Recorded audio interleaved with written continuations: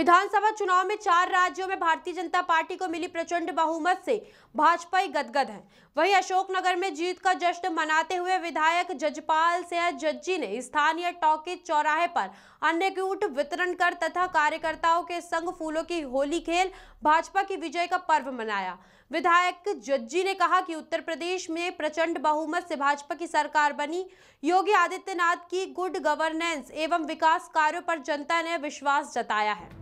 केंद्र की भाजपा सरकार प्रधानमंत्री नरेंद्र मोदी के नेतृत्व में विकास पथ पर अग्रसर है। केंद्र तथा राज्य की जन कल्याणकारी योजनाओं के माध्यम से अंतिम पंक्ति के व्यक्ति का कल्याण हो रहा है। इस दौरान भाजपा कार्यकर्ताओं के साथ विधायक थिरकते हुए फूलों की होली खेलते नज़र आए। और उन्हें जीत की बधाई दी। बता दें कि अशोकनगर ज़िले के कई कार्यकर्ता उत्तर प्रदेश चुनाव में एक महीने से काम कर रहे थे।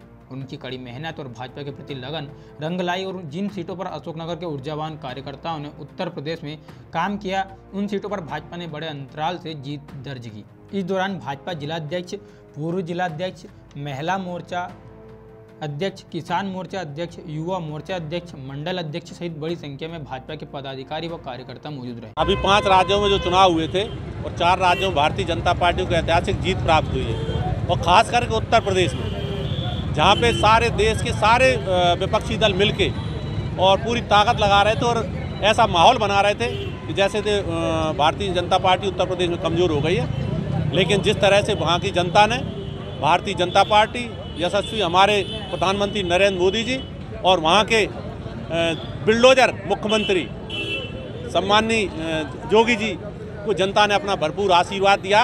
ये अयोध्या में जो राम मंदिर बनने जा रहा है, ये भगवान राम का आशीर्वाद है हमारे उन महान विभूतियों को और भारतीय जनता पार्टी को राम काज में लगी है और ये इसी तरह से भगवान राम का आशीर्वाद रहेगा पार्टी इसी तरह से आगे बढ़ेगी और हम जल्दी ही देखेंगे। कि भगवान राम का एक भव्य मंदिर हमारे देश में, जिसको सारी दुनिया में लोग देखेंगे, वो बनेगा। और ये भगवान राम की कृपा आशीर्वाद, आज हमने यहाँ पे भगवान राम की आशीर्वाद प्राप्त किया।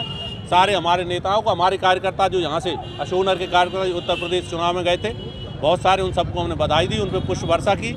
और भगवान राम के आभार भगवान राम का विस्मरण करते हुए यहाँ पे अन्नकूट का आयोजन किया जा रहा है। प्रसाद का वितरण हो रहा है। और सारे लोग हम भारतीय जनता पार्टी कार्यकर्ता उपाध्यक्ष, हमारे अध्यक्ष, सभी बताइए जी जब उत्तर प्रदेश में बाबा जी को एक नया नाम मिल गया बुलडोजर बाबा तो क्या जी बुलडोजर अब उत्तर प्रदेश में चालू रहेगा कि थम जाएगा? अब ये तो खैर उनके मुख्यमंत्री जी और बड़े स्तर की बात है।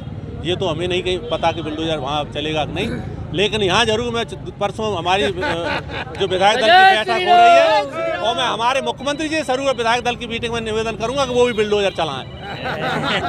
ग्रामीण भारत टीवी के लिए अशोकनगर से सुनील तनेजा की रिपोर्ट। खबरों में बने रहने के लिए ग्रामीण भारत टीवी को सब्सक्राइब कीजिए और बेल आइकॉन दबाना ना भूलें।